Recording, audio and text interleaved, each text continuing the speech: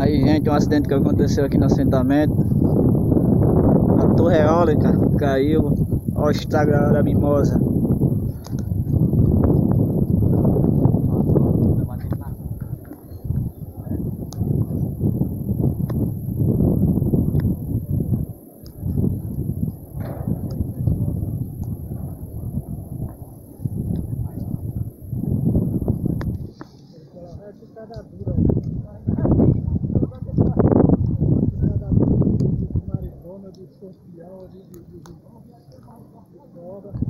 Eu pisei em cima!